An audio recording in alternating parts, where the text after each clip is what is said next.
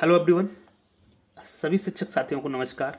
यहाँ से हम लोग चलते हैं सबसे पहले गूगल क्रोम ब्राउज़र पर, जो कि लगभग सभी मोबाइल फ़ोन्स में आपको मिल जाएगा गूगल क्रोम ब्राउज़र इसलिए हम इसको सजेक्ट करते हैं सजेस्ट करते हैं, इसको ओपन करेंगे और सर्च बार में हम टाइप करेंगे W W W dot Hindi marts dot com या फिर आप सीधे हिंदी मार्ट्स डॉट कॉम भी सर्च कर सकते हैं।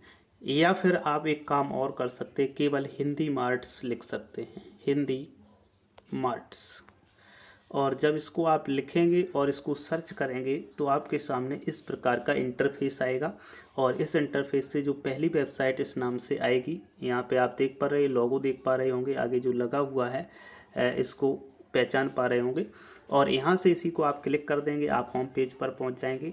यहाँ से हम लोग देखेंगे इस वीडियो में कक्षा सात की शिक्षण योजना।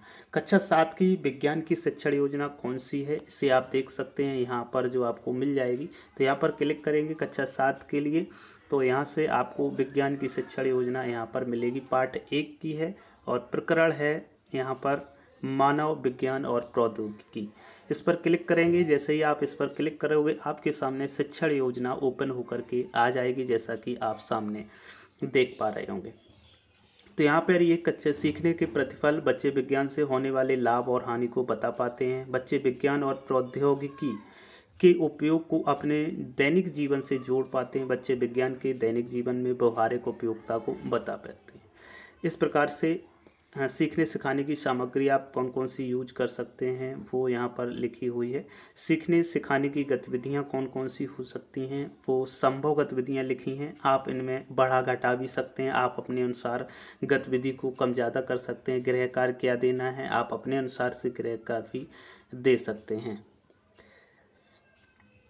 और आगामी शिक्षण योजना का निर्माण किस प्रकार से करना है, आप अपने अनुसार इन सभी बिंदुओं को अपना सकते हैं और बना सकते हैं।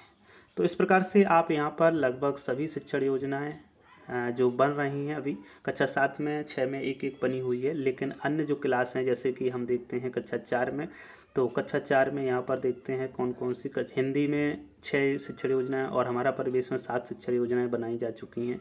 कक्षा तीन की अगर हम बात करें तो हिंदी में पाँच शिक्षण योजनाएँ बनाई जा चुकी हैं।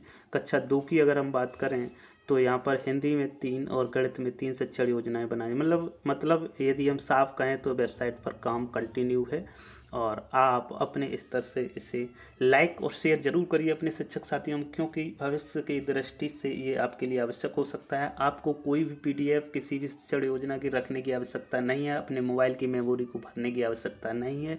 सीधे वेबसाइट के आपको थोड़े से डिजिट लगभग लगभग पाँच, दस दस अक्षर याद रखने हैं इंग्लिश के, हिंदी मार्ट्स। बस इतना सर्च करिएगा, आप सीधे पहुँच जाएँगे अपनी चहेती वेबसाइट पर। उम्मीद करता हूँ वीडियो आपको पसंद ज़रूर आया होगा।